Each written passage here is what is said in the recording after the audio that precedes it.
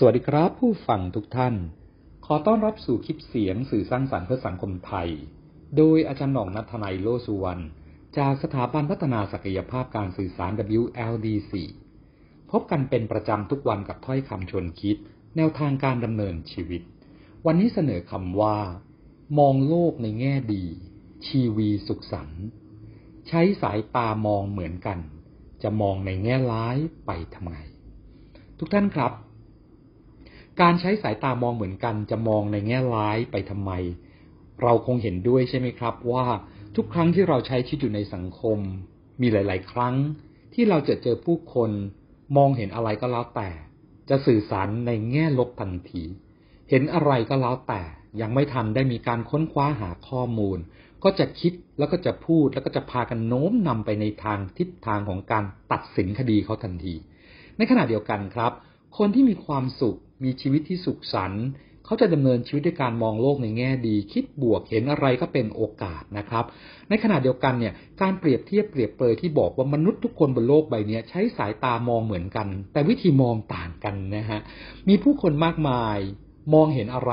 เขาจะหาจุดแรกก่อนเลยก็คือ จุดที่มันไม่ดี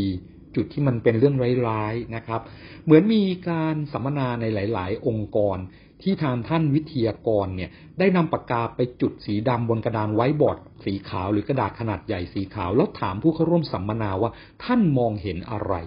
คนที่ผ่านการอบรมฝึกฝนมาก็จะบอกว่าเห็นพื้นที่ของกระดาษขาวหรือไว้บอร์ดสีขาวที่กว้างใหญ่ไพศาลครับ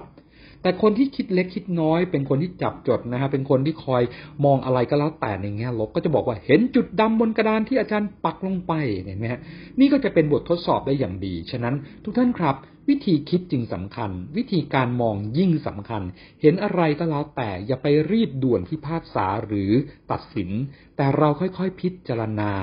ค่อยๆถักทอ เราตระหนักต่อสถานการณ์ตรงนั้นชีวีของเราสุขสันต์ได้ทันทีเห็นไหมครับ คนที่ร้อนแรงเกินไปในที่สุดก็ล้มลง แต่คนที่นิ่งเงียบขึมเฉยสงบ แต่จิตนั้นแข็งแกร่งนะครับเขาจะก้าวเดินได้ต่ออย่างทอระนง ฉะนั้นเรามารณรงค์มองโลกในแง่ดีนะครับ แต่มีสติทำให้ชีวิตของเราสุขสันต์กันอย่างกว้างขวางนะครับ นับจากนี้ครับเราใช้สายตามองเหมือนกัน แต่เราจะไม่มองร้ายในแง่ร้ายในทุกกรณี ฉะนั้นนี่คือเรื่องราวดีๆ ที่ WLDC สร้างสรรค์สิ่งดีสู่สังคมนำมาส่งมอบ วันนี้ขอผู้ฟังทุกท่านมีความสุข สนุกกับการดำเนินชีวิต พบกันใหม่ในวันพรุ่งนี้